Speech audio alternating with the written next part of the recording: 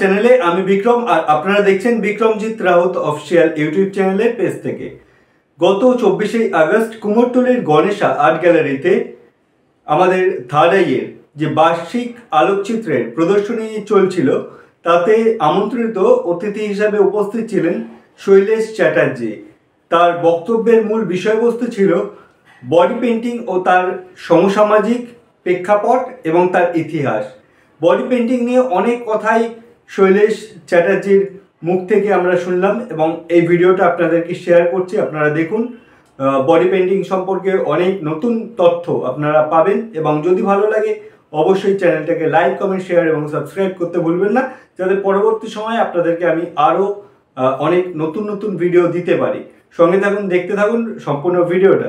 মূলত বডি পেন্টিংয়ের সামাজিক প্রেক্ষাপট নিয়ে আলোচনা করব, আমার জার্নি সম্পর্কে আলোচনা করব। এবং পরিচয়টাও একটু দিয়ে দেবেন হ্যাঁ দেবো দেবো। আস্তে আস্তে আসছি। তো বেসিক্যালি আমি আজকে যেগুলো নিয়ে আড্ডা দেবো সেটা হচ্ছে আমার শিল্পযাত্রা বা কীভাবে আমি স্টার্ট করেছি আমার পেন্টিং স্টাইল সম্পর্কে বলব বডি পেন্টিংয়ের ইতিহাস সম্পর্কে কিছুটা আলোকপাত করব। এছাড়া সামাজিক প্রেক্ষাপট ও চ্যালেঞ্জ যেগুলো আমরা ফেস করি প্রতিনিয়ত সেটা নিয়ে আলোচনা করব এবং সেটাকে কীভাবে ওভারকাম করব সেটা নিয়েও বলব। এছাড়া বডি পেন্টিংয়ের বর্তমান কি অবস্থা এবং আমার যে ব্যক্তিগত যে এক্সপিরিয়েন্স সেটাও আমি শেয়ার করব, আমার কাজ শেয়ার করব এবং আমার দৃষ্টিভঙ্গি আপনাদের সাথে শেয়ার করব।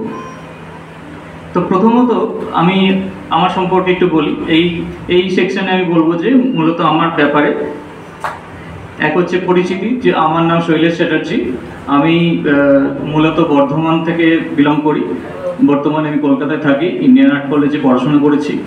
দু হাজার এগারো সালে আমি কলকাতায় আসি এবং আমার জার্নিটা এইভাবে শুরু হয়। এই পরিচিতি বলতে আমি এই মুহূর্তে ছোট থেকেই বিভিন্ন রকম আর্ট ফর্ম নিয়ে কাজ করি, যেমন পেন্টিং লেখালেখি, এছাড়া ফটোগ্রাফি কম বেশি করতাম। এবার বিভিন্ন রকম এক্সপেরিমেন্ট করার সুযোগ আছে, কারণ আমি অনেকটা সময় একা কাটাই। তার ফলে আমার কাছে অনেক রকম এক্সপেরিমেন্ট করার জায়গা থাকে। আর এই মুহূর্তে আমি অ্যাক্সেঞ্চারে অ্যাজ এ ইউএক্স ডিজাইনার কাজ করছি অ্যাজ এ টিম লিড ওটা আমার বাই প্রফেশন সো আমার কাছে সুযোগ খুব কম থাকে তো শিল্প চর্চার জন্যে। আপনারা একটু কনসেন্ট্রেট করুন। এটা জাস্ট একটা এক্সাম্পল দেওয়া আছে। পরে আমার প্রত্যেকটা পেন্টিং সম্পর্কে দেওয়া আছে। ফটো পর পর পর পর ছবি দেওয়া আছে। তো এই মুহূর্তে আমি যেটা আলোচনা করব সেটা হচ্ছে শিল্প, আমার চিত্রশৈল শিল্পী শৈল্পী এবং আমার এই যে বডি পেন্টিং নিয়ে কেন হঠাৎ করে আলোচনা বডি পেন্টিং নিয়ে কেন আমি শুরু করলাম সেটা নিয়ে আমি একটু আলোচনা করব। তো আমি যেমন বললাম যে আমি অ্যাজ এ ইউএক্স ডিজাইনার কাজ করি, তো আমার কাছে সময় খুব কম থাকে স্যাটারডে সানডে থাকে।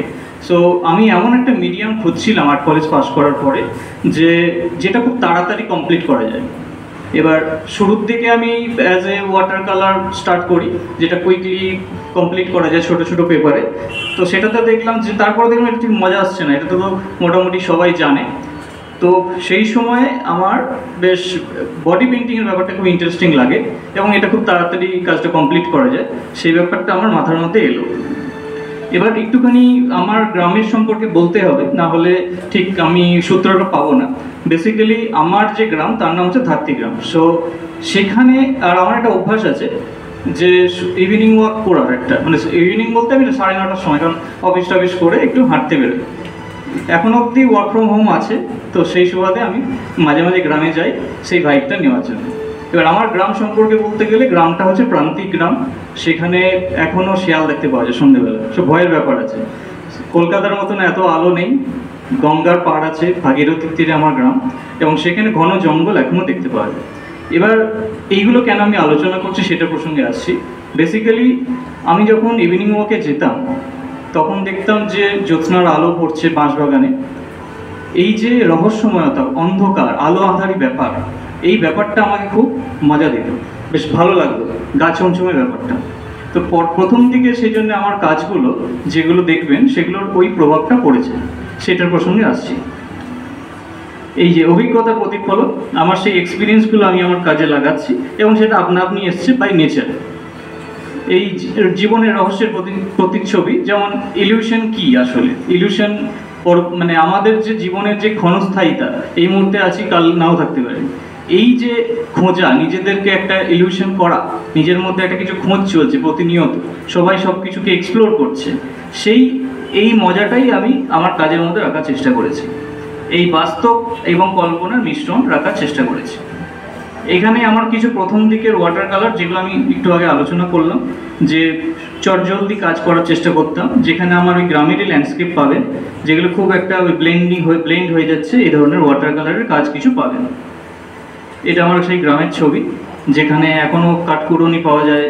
গ্রাম কিছু মানে একটা মানুষ সে সারাদিন ছাগল চড়ানোর পরে সে তাকে তাকে ফেরত নিয়ে যাচ্ছে। এরমভাবে কিছু ছবি, সে, যেটা আমি ডাইরেক্ট রিয়েলিস্টিক কাজ, সেই ধরনের কাজ প্রথম দিকে করতাম। আমি চাকরি সূত্রে অ্যাক্সেঞ্চার অ্যাকচুয়ালি ছিলাম হচ্ছে পুনেতে কগনিজেন্টে থাকাকালীন। তখন ওখানেও আমার সেই আলো আধারে খোঁজ পেয়ে গেলাম, যেটা আমার একটা ফ্লোতেই চলে এলো। ওইটা হচ্ছে বিভিন্ন রকমের যে ওখানে ইভিনিং স্ন্যাক্স বিক্রি হতো, এর পাহাড়ি, পাহাড় একটা একটা ইলিউশন সেই ইলিউশন আমার পিছু ছাড়লো না।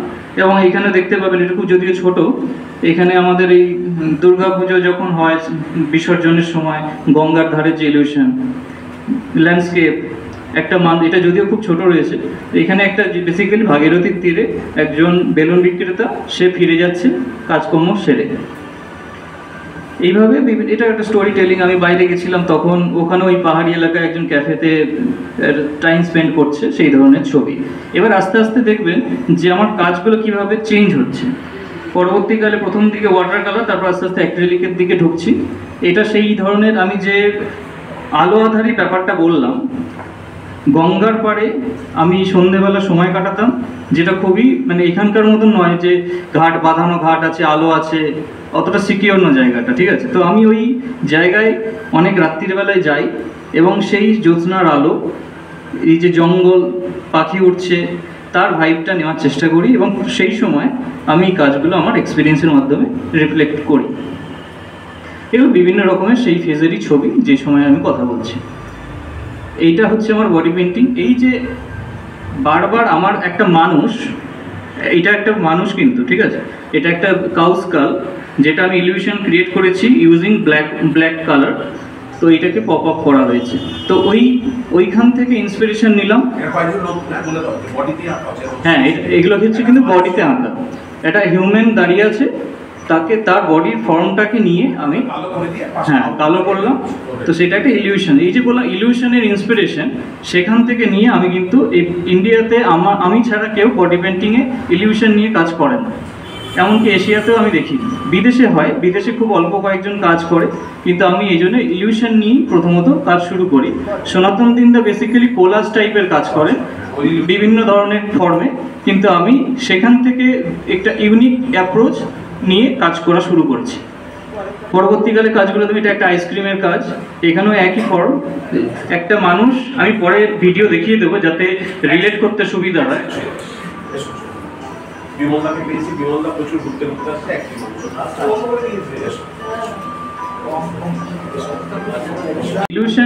বারবার ফিরে এটা হচ্ছে চিকেন মেয়েটাকে শুইয়ে দেওয়া হয়েছে। চিকেনের লেগ পিস একটা মানে একটা ওই পিসটা দেখানো হয়েছে, এইভাবে আমি পুরো বডি ফর্মটাকে ইউজ করেছি। কীভাবে ইউজ করছি সেটা দেখার ব্যাপার আছে। এটা একটা ব্যাঙের ব্যাঙের উপরে করেছি। মাথা, এখানে পা, হাত। দেখা যাচ্ছে আশা করি। এগুলো সবই ভিডিও আছে, আমি ভিডিও দেখাচ্ছি, তাতে আপনাদের বুঝতে সুবিধা হবে। এটা হচ্ছে একটা টার্টেলের কাজ করেছি, যেটা টার্টেল জলের তলে থাকে। এটাও একটা ইলিউশনের কাজ, প্রথম দিকের কাজ। এখানে কাঁকড়া বিচের কাজ করেছি বডি ছিঁড়ে যাচ্ছে সেটা দেখানোর চেষ্টা করেছি। বেসিক্যালি আগেরগুলো ছিল কালো, এগুলো হচ্ছে হোয়াইট বেস এটাও একটা অক্টোপাসের কম্পোজিশন করেছি ইউজিং বডি ফর্ম এটা একটা মাছরাঙা। হাতটাকে ইউজ করেছি ঠোঁট হিসাবে। এটা হচ্ছে ফেক ড্রেস এটা প্রথম দিকের কাজ। একটা মানুষকে, এটা বিদেশে খুব পপুলার আমাদের দেশে অতটা পপুলার নয়, সামাজিক একটা সমস্যা আছে। এর এরপরে আরও ভালো কাজ আছে, আমি দেখাচ্ছি সেটা। এটা হচ্ছে জিন্স এবং টপ দুটোই হাতে আঁকা, এবং এগুলো সব স্টুডিওতে করা, কারণ আমাদের সেই লিবার্টি নেই ইন্ডিয়া এটা। আমি চাইলেও করতে পারি না, বাইরে খুব প্রচলন রয়েছে। এখানে দেখবেন কতটা ডিটেলিং কাজ রয়েছে। পায়ের ভাঁজ থেকে শুরু করে জুতো, কোমর সব কিছু দেখুন। শুধু এই জুতোটা বাদ আছে। জুতোটা রিয়েলিস্টিক বাকি সব হাতে আঁকা। এটা হচ্ছে, এটা আমার লাইফের ফার্স্ট কাজ। মানে ফার্স্ট বলতে পারলে ভালো ফার্স্ট কাজ বলতে পারি। এটা হচ্ছে একটা চিংড়ি মাছ। দেখবেন কীভাবে বডি স্ট্রাকচারটাকে যে পেটের যে অংশটা, কীভাবে তার পায়ের অংশটা হিসেবে ব্যবহার করেছে। এই এই যে ফর্ম এই ফর্ম নিয়ে কিন্তু ইন্ডিয়াতে কেউ কাজ করে না। এগুলো একটু অন্য ধরনের কাজ। এটা হচ্ছে একটুখানি ওই ইলিউশন থেকে বেরিয়ে আসছি। ফর্মটাকে একটা জায়গায় সীমাবদ্ধ রাখছি না, আস্তে আস্তে বেরিয়ে আসছি। এগুলো ওই ছবি, কিছু মডেলদের সাথে ছবি, যেটা আমি এঁকেছি তার প্রমাণ হিসাবে। এটা হচ্ছে ওইটার আঁকার সময়ের একটা ছবি বিটিএস এটা নিয়ে একটুখানি বলতে চাই। আমি ইন্ডিয়ার প্রথম যে প্রেগনেন্ট লেডির ওপরে বডি পেন্টিং করি, এর আগে কেউ কোনোদিন এই সাহস দেখায়নি। এবং এটা এটা এশিয়াতেও কেউ করেছে গেলে আমি শিওর না। ইন্ডিয়াতে কনফার্ম আমি। এবং এটা খুব চ্যালেঞ্জিং ছিল প্রজেক্টটা এটার ফাইনাল আশা করি থাকি, নাহলে আমি দেখিয়ে দেবো। এটা, এটাকে উল্টে দিলে বেটার হতো, কিন্তু সেই সুযোগ নেই। এটা বেসিক্যালি একটা বন্দুক।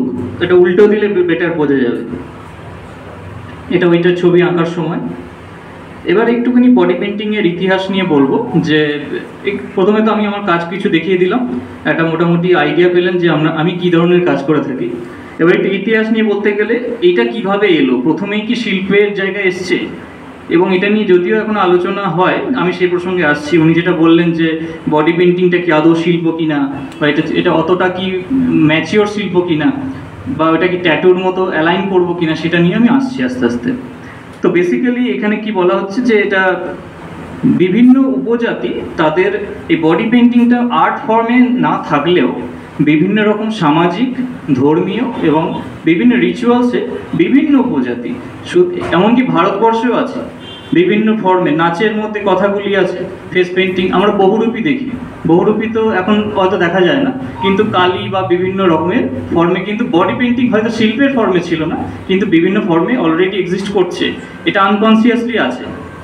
এছাড়া আছে এ- এখনও অবধি আফ্রিকান এবং অস্ট্রেলিয়াতে এখন আর নেই। অস্ট্রেলিয়া সেটা এখন অনেক ম্যাচিওর হয়ে গেছে, আধুনিক প্রভাব পড়ে গেছে।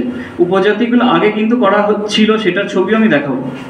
আফ্রিকানদের মধ্যে বরাবরই একটা বিভিন্ন রকমের ওদের লৌকিক আচার অনুষ্ঠানের মধ্যে সেই ব্যাপারগুলো ওরা ইউজ করে থাকে। ভারতের ছবি এগুলো সব। বিভিন্ন রকম, এটা সাউথের ছবি।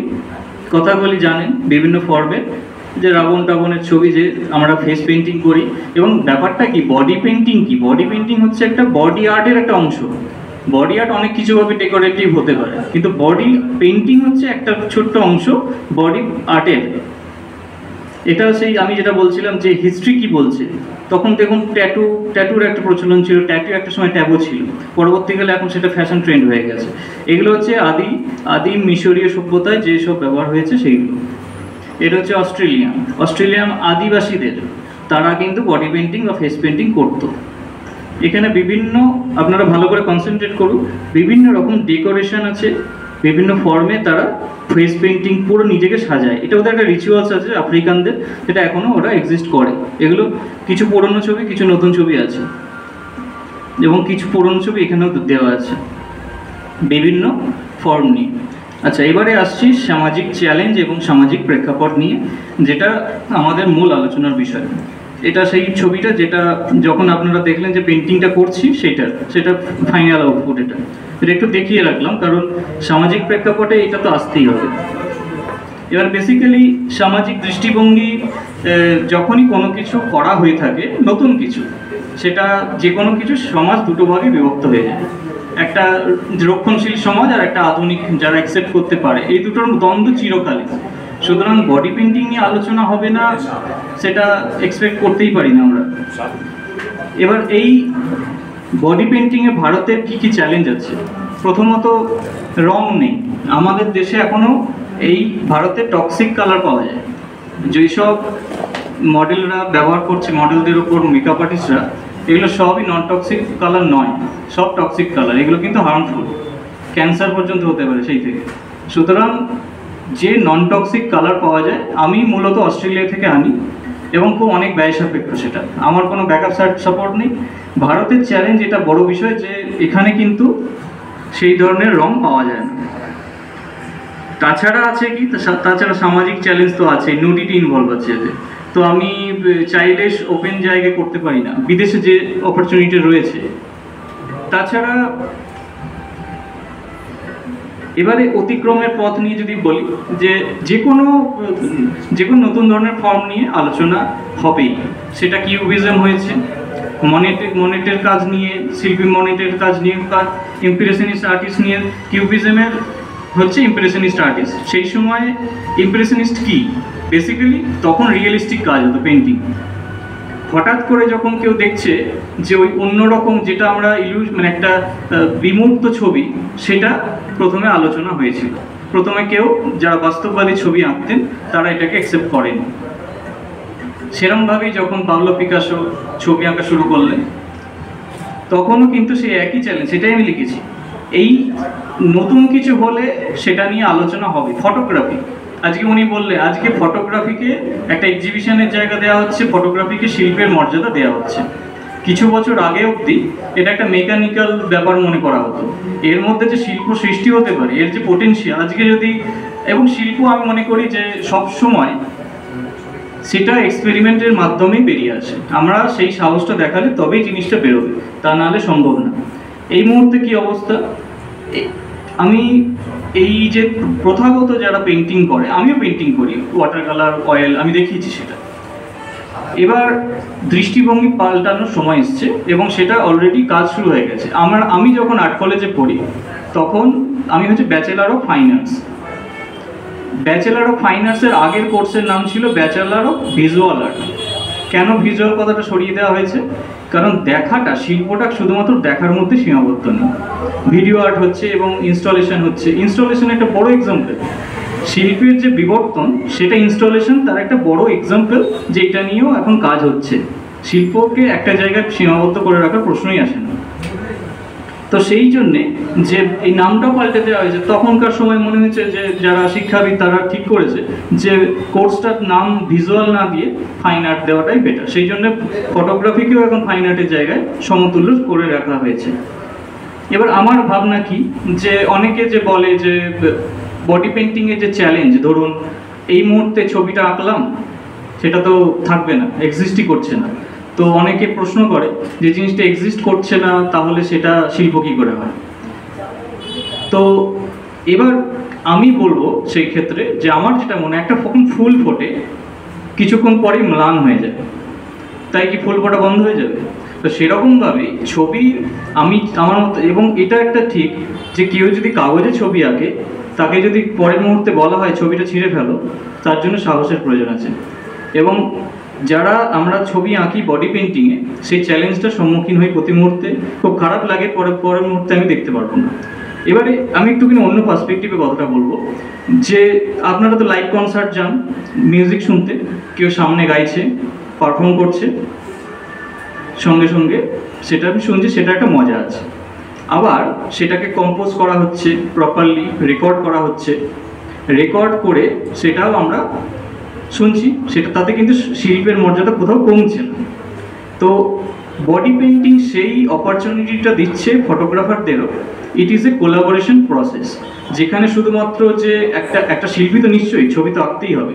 সেখানে মডেল আছে, একটা ফটোগ্রাফার আছে, তার তার একটা নিজস্ব ইনপুটও দরকার আছে। আলো, ছায়া কম্পোজিশন সেখানে সে ইনপুট দিতে পারে।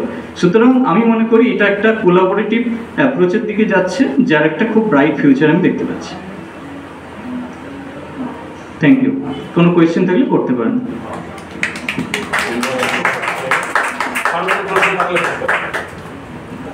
বাড়ি সুন্দর ছোট্ট খুব সুন্দর গুছিয়ে আচ্ছা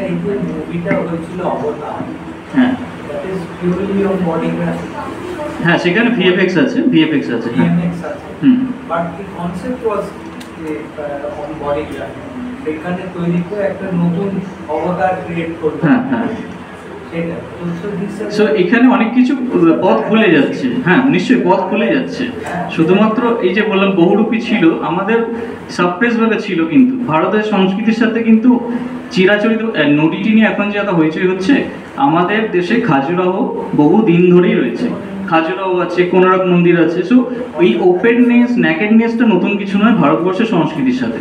সুতরাং এটা নিয়ে হইচই করাটাও একটা যৌক্তিক আমার মনে হয় না। তো আপনি যেটা বললেন যে অ্যাভাটার বা এই ধরনের অপরচুনিটি আছে, সেটা প্রথমে হয়তো কোনো ইনিশিয়াল আর্টিস্ট করে থাকে কনসেপ্টগুলো পরবর্তীকালে সেটাকে ভিজুয়ালাইজ করা হয় ভিএফএক্স এর মাধ্যমে। সেখানেও অপরচুনিটি খুলে যাচ্ছে। তোমাকে দেখে এগোচ্ছে আর কেউ? মানে তুমি কি বুঝছ এই মুহূর্তে বডি পেন্টিং এ? আমি প্রথমে দেখুন সনাতন দিনদা তো উনি জনপ্রিয় হয়েছেন এবং বর্তমানে আমি ওনাকে লাস্ট কাজ আমি দেখিনি। লাস্ট কোথায় কবে করেছে আমার নিজেরও মনে নেই ঠিক আছে? তো উনি যা করেছেন বিদেশে হয়তো করেছেন কিন্তু আমি ভারতবর্ষে করতে ওনাকে দেখিনি এই মুহূর্তে। তো এই মুহূর্তে আমি ছাড়া আর আমি কাউকে করতে দেখছি না। আর যারা করছে সেরা মেকআপ আর্টিস্টরা করছে তারা সেই এবারে আমি ওইটাই বলছি বডি পেন্টিংকে কখন আমি শিল্পের পর্যায়ে বলব। যখন সেটা শিল্পের পর্যায়ে যাবে তবে সেটা বলব। এবার আমি আমার কিছু পুরনো কাজ দেখাচ্ছি। আমি বলেছিলাম ভিডিও দেখাবো সেটা একটু দেখাই। আপনাদের তাতে রিলেট করতে সুবিধা হবে।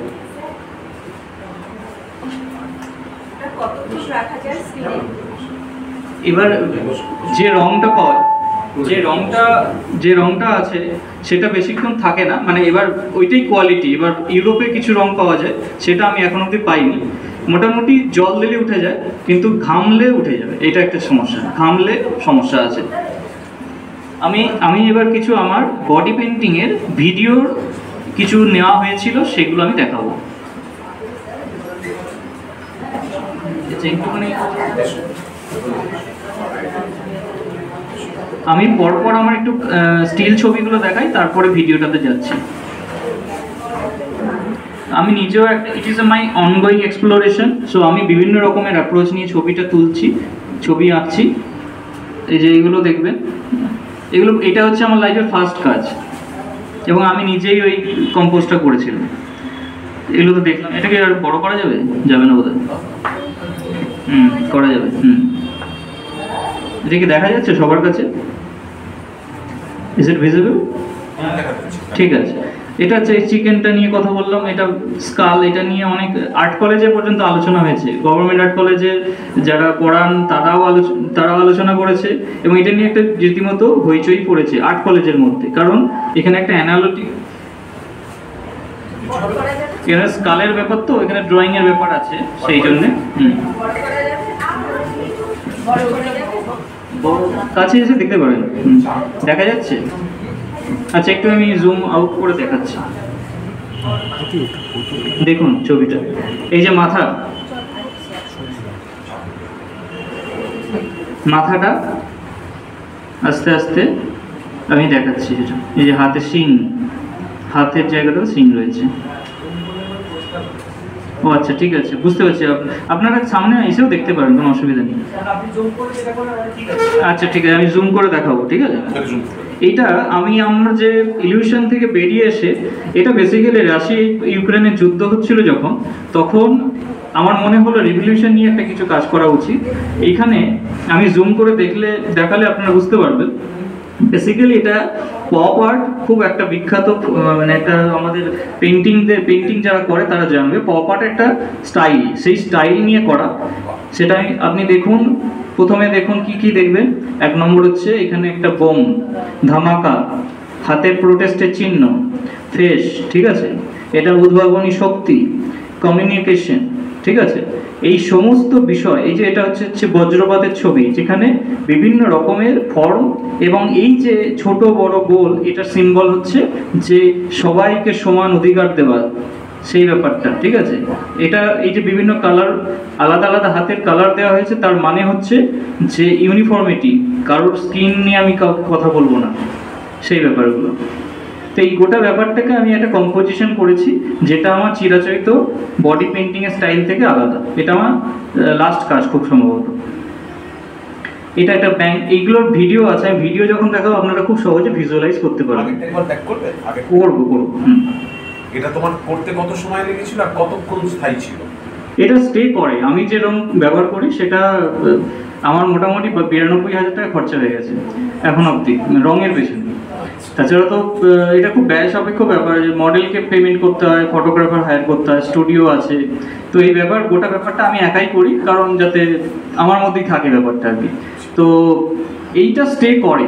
মানে ফিনিশিং করার পরে অনেক সময় দেখা যায় যে আন্ডার আর্ম বা কিছু জায়গায় সেখানটায় কিন্তু ভিজে যাওয়ার ফলে আবার বেশি এসি চালালেও অসুবিধা। মানে ঠান্ডা লাগবে। নিউড আছে যেহেতু। তো এই ব্যাপারটা খুব চ্যালেঞ্জিং মানে সে করে এটা আট ঘণ্টা থাকবে। আট ঘণ্টা। হুম। আর ডেমোলিশ করছ? মানে তুমি ধরো বলছো যে এবার আমি ওয়াশ আউট করে দেবো। হ্যাঁ। হ্যাঁ মানে একদম ফাইনাল ধরো তুমি টাচ আপ করছ আর টাচ করব না। হ্যাঁ এবার ব্যাপারটা কি হয় যে আলো যখন পড়ে এটাতে ছবি তোলার একটা চ্যালেঞ্জ কি হয়? বেসিক্যালি এটা ম্যাট অসুবিধা হয় না। অ্যাক্রেলিক যেটা ব্যবহার করে কলকাতার বিভিন্ন মেকআপ আর্টিস্ট সেটা অ্যাকচুয়ালি হার্মফুল কিন্তু স্কিনের জন্য ঠিক আছে? ওটা কিন্তু ইউজ করা উচিত না। তো এইটার সুবিধাটা কি? এটা ফিনিশিং বেটার হয়। আর অ্যাক্রেলিকে আমার যে চিংড়ি মাছের কাজ, সেটা কিন্তু অ্যাক্রেলিকে করা। ফেব্রিক ফেব্রিক ফেব্রিক বা অ্যাক্রেলিক দুটোই। একটা সফট হয় অ্যাক্রেলিক হচ্ছে একটু হার্ড হয়। এবার এইটা ফুল বডিতে পেন্টিং করেছি, আমার সময় লেগেছে পাঁচ থেকে ছ ঘণ্টা। ঠিক আছে? কারণ এখানে ওই মেন চ্যালেঞ্জটা ছিল যে ফ্ল্যাট কালারটাকে রাখা। কারণ বেশিরভাগ প্রবলেম হচ্ছে ওই রঙেরও একটা প্রবলেম ছিল। এটা যদিও এখানে অতটা বোঝা যাবে না।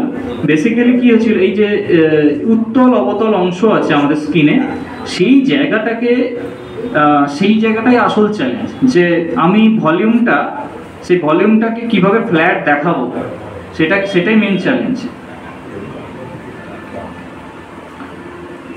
আপনি এখানে দেখবেন চোখে, চোখের রিয়েলিস্টিক ব্যাপারটা দেখুন। কতটা ডিটেলের কাজ আছে। এটা হচ্ছে মাথা, কান, তারপরে এই যে হাত চলে এলো, পেটের কাজটা, এর পা। আশা করি দেখা গেছে, বুঝতে পারা গেছে। এটা পা, এই যে হাত। এইটা এটা বেশ বেসিক্যালি ডিটেলিং যত হবে তত চ্যালেঞ্জ বেড়ে যায়। এইটাও যেমন একটা আইসক্রিমের কাজ করেছিল। এটা তো, এটা আমার খুব ফেভারিট কাজ মানে জিন্সের প্যান্ট করেছিলাম। এটা আমার খুব ইচ্ছে ছিল করার। একটু জুম করে করে দেখো হ্যাঁ, হ্যাঁ। টপ টু টপ হ্যাঁ একদম। এই যে। আচ্ছা দেখুন। এই জায়গাগুলো খুব রিয়েলিস্টিক করা হয়েছে। এই যে ছিঁড়ে গেছে। ছিঁড়ে যাওয়ার ব্যাপারগুলো এমন জিন্সের টেক্সচার শুধু রং দিয়ে কোনো এক্সট্রা কিচ্ছু নেই। কোনো শার্ট প্যান্ট ভাববেন না এবং আমার একটা চ্যালেঞ্জ হয় যে আমার কাছে স্প্রে গান নেই। স্প্রে গান হলে সুবিধা। রিয়েলিস্টিক করি আমি, যাতে একটু দেখতে ভালো লাগে ব্যাপারটা। এটাও তাই, ওই কান, মাছরাঙার ব্যাপার একটা এঁকেছিল হাতটাকে ইউজ করেছিলাম। এখানে আমার ব্যাপার, আমার পেন্টিংয়ে যেটা দেখার আছে যে আমি কীভাবে বডিটাকে ইউজ করছি অ্যাজ এ কম্পোজিশন যে আমাদের বডি স্ট্রাকচারটাকে কীভাবে আমি ইউজ করছি। এই যে চোখের অংশটা মাথার অংশটা যে এরকম অংশ থাকে সেই যে বডি স্ট্রাকচারটাকে ইউজ করা। এটা প্রথম দিকের কাজ। এইটাকে আমি একটু উল্টে দেখালে হয়তো বেটার লাগবে। এই এইটা এবার বোঝা যাচ্ছে। এখানেও দেখবেন ফিনিশিং এইখানটা কি অসুবিধা হয়েছিল বলে দিচ্ছি। পায়ের জায়গাটা আমাদের ভাঁজ থাকে সেই জায়গাটা স্ট্রেট করা। তো আমাকে দূর থেকে থেকে বারবার দেখতে হচ্ছিল যে কীভাবে আমি এটাকে তার জন্য হয়তো সামনে গেলে বোঝা যাবে ওটা বেঁকা লাইন কিন্তু আমি দূর থেকে যে লেভেল থেকে আমি ছবিটা তুলবো সেইখান থেকে আমাকে দেখতে হচ্ছিল। এইটা একটু চ্যালেঞ্জ হয়ে যায়। অনেক সময় এই যে পায়ের এই অংশটা এটাও কিন্তু অন্য পা। অন্য পায়ে গিয়ে আমি এবার এটাকে মেলানো খুব চাপ। কারণ একটা ভলিউম আছে, সেটা ঢেউ খেলে যাচ্ছে। সেইটাকে ম্যাচ করানোটা খুব চ্যালেঞ্জ হয়ে বলেই হ্যাঁ এবার এই চ্যালেঞ্জটা খুব হয়ে থাকে। যেমন ধরুন, শুরুতে শুরুতে একরকম কম্পোজিশন করলাম ড্রয়িং করলাম। খাবার খাবার খেলো লাঞ্চ করল, পেটটা উঁচু হয়ে গেল। এরকমও হয়েছে লাঞ্চ করেছে, জল পড়েছে, পুরো ছবি উঠে গেছে। আবার আমাকে করতে হয়েছে। বিশেষ করে জিন্সের প্যান্টটাতেই হয়েছিল। জিন্সের যে টপ আছে সেটা উঠে গেছিল পুরো মানে জল পড়ে। আর ওই পেন্টিংটা পেন্টটা জল পড়ার সাথে সাথে ধুয়ে যায়। এটা আমার লাইফের ফার্স্ট ভালো কাজ। মানে প্রথমে তো এই ফ্লোরাল ডিজাইন করেছিলাম, এটা আমি সাহস নিয়ে প্রথম স্টুডিওর কাজ এটা, প্রথম পেন্টিং আগে প্ল্যান করতে যেমন সময় লাগে আপনাকে কি কতদিন এইটা একটা ব্যাপার হচ্ছে কি মানে না এখানে আমি একটুখানি মডেলের সহযোগিতা পাই। খুব লাকি যদি থাকে। বেসিক আমি হিউম্যান স্ট্রাকচারটাকে ইমাজিন করি যে এরকম হতে পারে। মূলত যারা মডেল তাদের কিছু পুরনো কাজ দেখি। যারা তেরা কীভাবে পোজ দিচ্ছে তার বডি স্ট্রাকচারটা কেমন সেটাকে ভিজুয়ালাইজ করি। সেটা ফটোশপে আমি কম্পোজ করি লেআউট করি। তাতে কি হয়? মানে হাতে আঁকলে অসুবিধাটা কি? মানে আমি তো আমার মনের মতো করে লাইনটাকে বাড়াচ্ছি কমাচ্ছি, কিন্তু যখন তার ছবিতে আমি কাজটা করব, এবার সবসময় মডেলের ছবি পাওয়া অ্যাভেলেবেলও হয় না, এটা একটা অসুবিধা। এবার যখন আমি কম্পোজ করছি, তখন আমাকে ওইটা, আমি নিজেও অনেক সময় সেই পোজটা দিই। নিজে পোজে নিজের ওপর এক্সপেরিমেন্ট সেটাও একটা হয়। এবার অনেকে প্রশ্ন করে আমাকে যে আমি কেন মেয়েদের ওপরই ছবি আঁকি? তো তার অনেকগুলো ব্যাখ্যা আছে। মূলত যেটা সমস্যা হয় ছেলেদের ছবিতে, ছেলেদের স্কিনে লোম বেশি থাকে। এবার পেইন্ট যখন করব, লোমগুলো খারাপ হয়ে যায় এবার এটা একটা, এবং তাকে ওয়াক্স করতে হবে, এবং আর একটা যেটা সমস্যা বডি স্টিফনেস ছেলেদের বডি অনেক বেশি স্টিফ থাকে। এবার যার ফলে কি হয়, সব পোজ দিতে পারে না। দে আর নট ফ্লেক্সিবল না এবার, এবং অনেকটা হাস্যকর হবে, সেই জন্য আমি অ্যাভয়েড করি। এইটাই একটা মূলত কারণ। কারণ মেয়েদের মানে অনেক ফ্লেক্সিবল হয় যে পোজটা ধরে রাখা হোল্ড করা সেটা কিন্তু অনেক সময় সমস্যা হয়ে যায়। হুম। এবার এটা দেখুন রোজ ঠিক আছে? এটা প্রথমে যখন ভিডিও দেখাবো এটা ভিডিওটা নেই মনে হয়। ভিডিওটা পেলে আমি রেখে দিই। এটা কিন্তু পেন্টিং হ্যাঁ? বডিতে বডির ওপরে। ভালো করে দেখুন। এটা কিন্তু আমার শেষের দিকেরই কাজ। এটা মাথা ভালো করে দেখুন, মাথা, চোখ চোখ, মুখ, এই যে বুক পাপড়ি, এই যে মেশানো, ভাঁজগুলোকে মেশানো, এটা খুবই ডিফিকাল্ট পেটের নাভি এটা, ঠিক আছে? এখান থেকে, আমি ওই পেট, এই মহিলার পেট অনেক উঁচু ছিল, সেটাকে আমি ইউজ করেছি পেটের পাপড়ি হিসাবে। তো এইভাবে আমি করেছি পা এটা হচ্ছে পায়ের অংশটা। এটা প্রথম দিকের কাজ। বডি স্ট্রাকচারের উপরে। এবার এই হাতের আমি ওই ল্যাজের অংশটা এইভাবে ইউজ করলাম। এইগুলি দেখার আছে বেসিক্যালি এই জায়গাটা ম্যাচ করানোটা খুব মুশকিল। এখানে দেখুন, এটা প্রথম দিকের কাজ। এবার পাগুলো, সেটা তো উঁচু হওয়া উচিত আসলে, কিন্তু বডিতে তো সেই জায়গা নেই। পেপারে আমি বাড়িয়ে দিতে পারি, কিন্তু এখানে সেই সুযোগ নেই। আমাকে তার মধ্যে আটাতে হবে। এটা আমার ওই মানে প্রেগনেন্ট লেডির ওপরে একটা শামুকের কাজ করেছিলাম।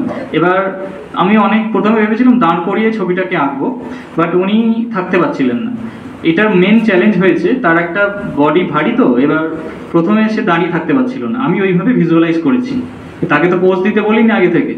এবার সে থাকতে পারছে, সেই মুহূর্তে আমাকে ভিজুয়ালাইজ করতে হয়েছে, এটাকে কীভাবে কম্পোজ করি, তারপর এটা চেঞ্জ করেছি। কেন প্রেগনেন্ট মডেল হিসেবে ব্যবহার করলে তাকে? মানে কি জন্য? শামুকের যে গোল অংশটা পাওয়ার জন্য এটা বেসিক্যালি কি হয়? ভুঁড়ি যদি থাকে তাহলে ভাঁজ থাকবে। ভাঁজে কিন্তু সেই জিনিসটা আসবে না। এই যে হ্যাঁ, হ্যাঁ চক্রটা। ফর্মটার জন্য আমি ব্যবহার করেছি। হ্যাঁ, এবং খুব সাহসী মডেল তাকে আমি সেলুট জানাই। আমরাও। হ্যাঁ বলুন। হ্যাঁ চুল নখ কান সব। সব। এবং এটা হার্মফুল নয় সব অসুবিধা হয় না। আজ অবধি কারোর প্রবলেম হয়নি।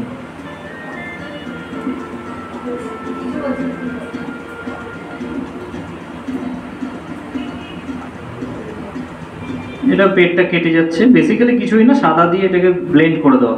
এবার প্রবলেমটা কি হয়? আলো পড়ে তো সেই জায়গাটা মিশতে চায় না। এটা একটু সমস্যা হয়। কারণ সেই জন্য আলো এক্সপোজার টেক্সপোজার বাড়িয়ে ভিজুয়াল দেখেছ না ফটোশপে মেলানো হয়েছে? মানে এটা একদম বন্ধুর মতো হ্যাঁ হ্যাঁ এটা প্রথমে যেটা করেছিলাম এটা আমার প্রথম দিকের কাজ। এটা বেসিক্যালি ইন্সপিরেশন কাজ। এটা আমার নিজের কনসেপ্ট না ঠিক আছে? হ্যাঁ এটা এই ধরনের কাজ আমি একটা রেফারেন্স দেখেছিলাম। তো সেটার বেসিসে আমি এটাকে করেছি। না আমি বলছি হ্যাঁ। মেলানো এখানে বলছে মিশে গেছে সাদায় সাদায়। হ্যাঁ হ্যাঁ। একটা লিমিটেড রং আছে।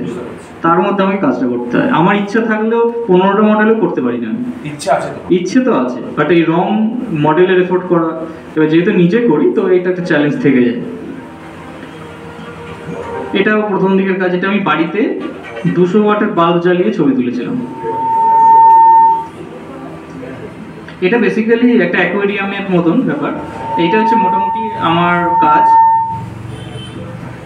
এবারে আমি একটু ভিডিও দেখাবো। সবাই একটু কনসেন্ট্রেট করবেন। এটা এটা দিয়ে শুরু করি। এক মিনিট। থামাই। এটা বড় করা হ্যাঁ শুরু থেকে দেখে। ঠিক আছে?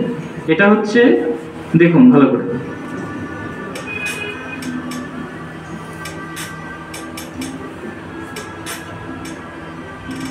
এইভাবে ফর্মটা মিলছে।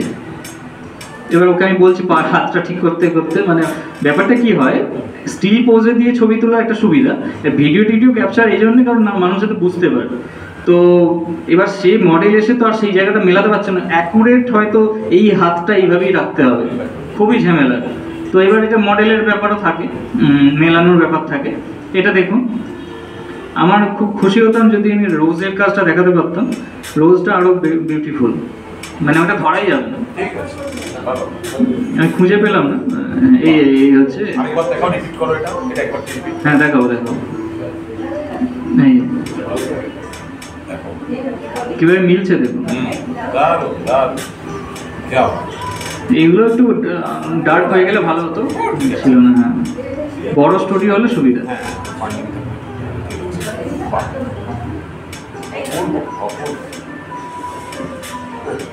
এবার কম্পোজিশনটা আমি ওই হিসেবেই করি যে কার ফিগারে কোনটা ভালো লাগবে। এটা পিস্তলের কাজটা। এটা দেখুন।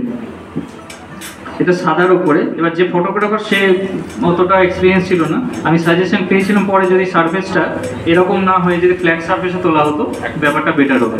এটা ত্রিমাত্রিক হয়ে গেছে। এই জন্য আমাকে একটু ফটোশপে এগুলো মেশাতে হয়েছে। ও ঠিক এক্সপিরিয়েন্স ছিল না। এটা একটা চ্যালেঞ্জ হয়েছে। হ্যাঁ মানে ঠিক এক্সপিরিয়েন্সের সমস্যা। এটা যেমন দেখা গেলো এইটা দেখুন এটা হচ্ছে এটা হচ্ছে সেই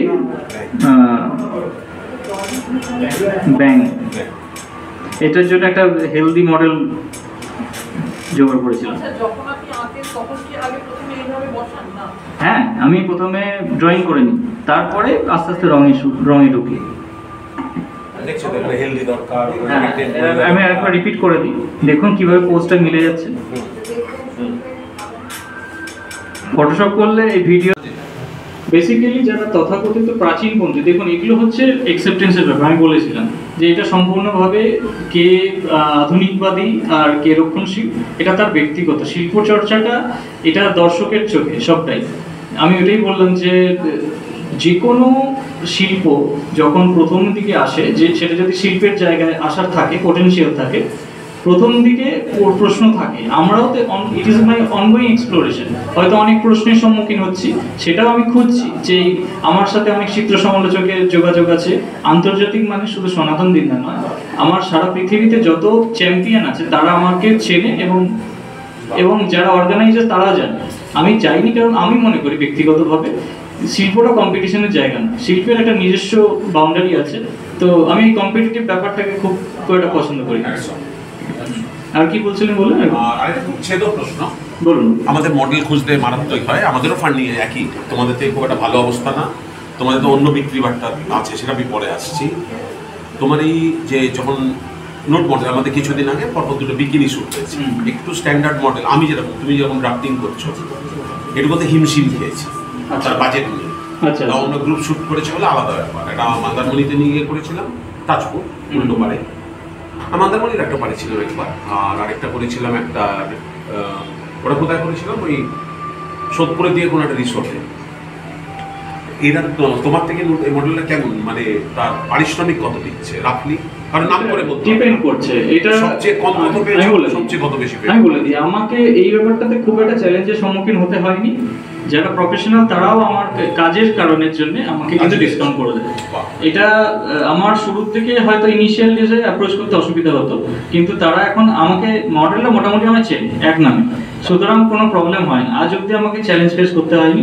তবে হ্যাঁ অনেকে আছে যারা আমাকে দিয়ে প্রথম বডি পেন্টিং বা কেরিয়ার শুরু করেছে। এরকমও হয়েছে। এবার আমার কাছে পেন্টিং অনেক কমই করে দেয়। আমি বলে দিচ্ছি ডিসকাউন্ট মানে এক হাজার টাকাতেও করেছে আবার পাঁচ হাজার টাকাতেও করেছে সাত হাজারও করেছে। মানে এটা যে যার মতন। হয়তো অনেক সময় আমি আমার কাছে এফোর্ড করতে পেরেছি আমি সে সময় জোগাড় করেছি। কারণ ওকেই লাগবে আমার আমি কেন জিজ্ঞেস করলাম? হ্যাঁ, বলুন। ওদের ক্ষেত্রে তো ওদের ফেস ভ্যালুটা থাকে হ্যাঁ। ওরা পাবলিসিটি পায়। হ্যাঁ। তোমার এর ক্ষেত্রে তুমি নাম না বললে মডেল কিন্তু ওইটা ওই কাজটা যে ওর পোর্টফোলিওতে যাচ্ছে সেটা দিয়ে প্রচুর কাজ পেয়ে যায়। সুতরাং পুষিয়ে যায়। প্রচুর পায় প্রচুর পায়। এবং প্রচুর এখন জানেন যে সবার হাতে ক্যামেরা সবাই ফটোগ্রাফার আচ্ছা। তো মোটামুটি একটা কাজ করার পর তাদের এইটাই বেসিক্যালি পোর্টফোলিওর জন্যই করে। ঠিক আছে। পরে আরও